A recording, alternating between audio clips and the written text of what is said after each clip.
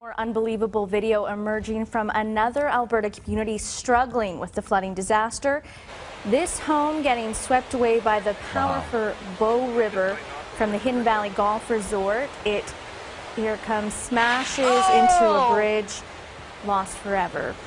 Now, four communities at Siksika Nation, as well as the Hidden Valley Resort, have suffered serious flood damage. 1,000 people have been forced out of their homes. A boil water advisory is in effect on the Siksika Nation, and an emergency reception center has been set up at the Deerfoot Sportsplex. Situation also dire, folks, uh, for folks in Hidden Valley, about an hour east of Calgary. Highways there have been cut off, and on some parts of the Siksika First Nation, water levels have reached the rooftops.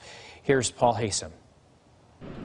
Thank you very much. I'm standing in front of a bridge between Hidden Valley Resort and the Siksika First Nations Band, and as you can see, it's a bridge to nowhere right now. That's because the resort is completely submerged. There are 305 cabins, and you can you can just see the tops of them. Really, it's a sad, sad sight. Now, it's the Siksika Band. Also, a lot of their homes are submerged. They're the other side of this bridge right now.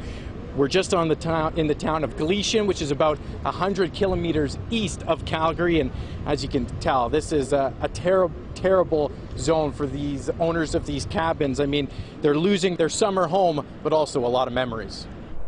A lot of good memories have gone down to down the river.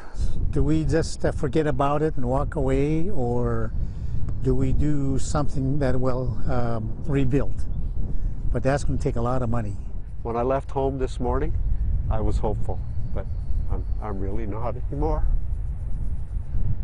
Now, I spoke to some people from the Siksika Band, and they said nearly 200 of their homes are also submerged in water, so they are suffering big time as well right now. And some of the cabins from the resort have actually come off the foundation and hit the bridge. Three cabins, what we've heard of, have come and hit the bridge. There's actually part of a roof still attached to part of that bridge. Now, I'm just going to bring the camera in. You can see the area just on the edge of the bridge, the cement, the soil.